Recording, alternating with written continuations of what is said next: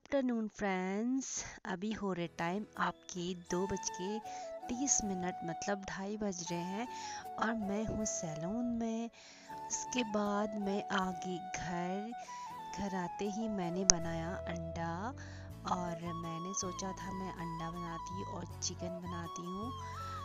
तो मैंने यहाँ अंडा रखा है, चढ़ाया है, उसको मैं बॉईल करूँगी, फिर मैं इसका बनाऊँगी चिकन पकौड़ी। तो मैं खाने के लिए बहुत खुश हो रही थी और मेरे बगल में आंटी लोगों ने इतने ज़ोर ज़ोर से गाना बजाया था जिससे मुझे म्यूट करना पड़ा।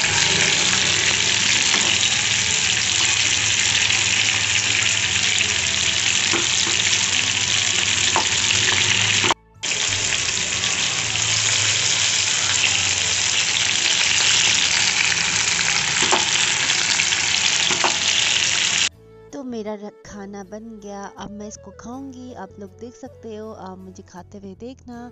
और मेरा कॉम्बिनेशन आप लोगों को कैसा लगा, मुझे भी समझ नहीं आया। मैंने सब साथ में बना दिया है। अब मैं इसको खाऊँगी और मैंने बनाया थोड़ा सा चटनी।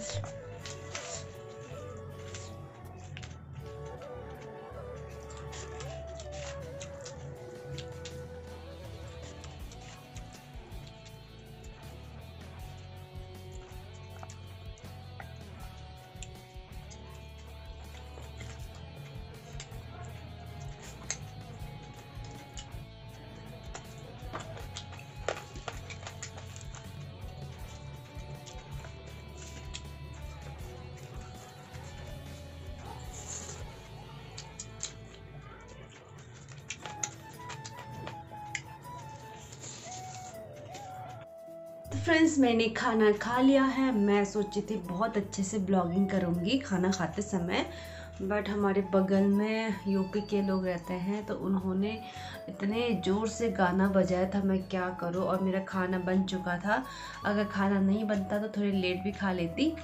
बट गाना लगाया था तो मेरा खाना भी बन गया था तो मुझे खा, फटाफट खाना पड़ा। और जब मैं खा रही थी, उस टाइम पर म्यूट करना पड़ा मुझे। तो क्या कर सकते हैं? बिज़ी भी थी क्योंकि सुबह सुबह जाना पड़ रहा था मेकअप के लिए तो फिर टाइम नहीं मिला था ब्लॉगिंग करने का भी।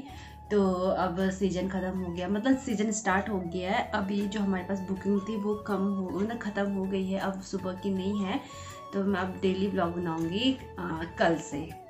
क्योंकि अब हमारे पास फरवरी की बुकिंग है, एक छब्बीस की है, चौबीस की है। उसके बाद है आपका, सीधे फरवरी में। तो अब मुझे ब्लॉगिंग करने का टाइम मिले, क्योंकि अभी बिल्कुल भी टाइम नहीं मिल रहा था, कभी कुछ कभी कुछ ऐसा काम आ रहा था तो और सबसे मेन बात अच्छा मैं हूँ अकेली। मेरा भाई ले गया घर दो चार दिन के लिए, और मैं सोई हूँ भैया के रूम में। मैं बाहर वाले रूम में नहीं सो रही हूँ क्योंकि मुझे लग रहा डर।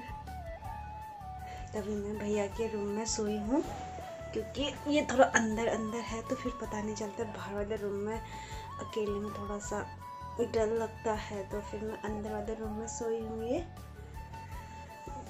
और सबसे बड़ी बात ये है कि मुझे आजकल बहुत ज़्यादा आलस आ रहा है ब्लॉगिंग करने में।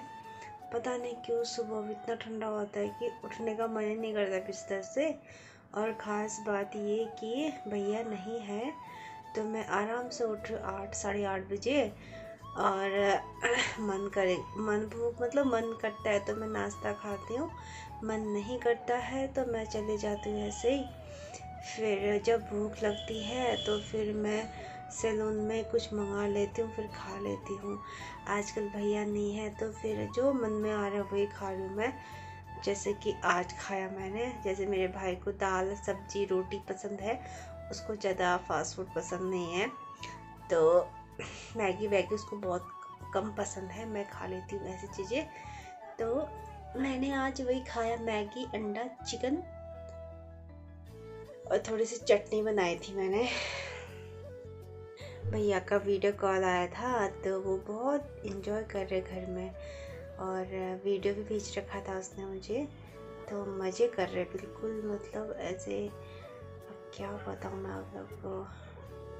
मैं भी चाहूँगी कुछ टाइम के बाद, अब कुछ दिन में ही मतलब कुछ महीनों के बाद मैं भी घर चले जाऊँगी क्योंकि ज़्यादा दिन नहीं है यहाँ देहरादून में मेरा भी। एक महीना, दो महीना, फरवरी, मार्च, अप्रैल। फरवरी, मार्च, अप्रैल में तो मैं चले जाऊँगी घर। अप्रैल, इस बार मैं फ़र्स्ट में चले जाऊँगी, क्योंकि अब मैंने कुछ सोच रखा है अप्रैल के बाद तो मैं आप लोग को तभी बताऊँगी। अभी नहीं बता सकती हूँ, क्योंकि अभी कुछ सोचा नहीं अच्छे से। हल्का फुल्का ही सोचा है तो मैं आप लोग को तभी बताऊँगी। तो अभी तो मैं सो जाती हूँ, क्योंकि टाइम भी बहुत हो गया है। दस, साढ़े दस हो गया है तो मैं अब सो जाती हूँ। फिर मैं मिलती हूँ आपसे नेक्स्ट ब्लॉग में। तब तक के लिए आप मेरे ब्लॉग को देखें लाइक करें कमेंट करें और अपने दोस्तों से शेयर करें और ज़्यादा से ज़्यादा सब्सक्राइब कराएँ। तो मैं आपसे मिलती हूँ नेक्स्ट ब्लॉग में। तब तक के लिए बाय बाय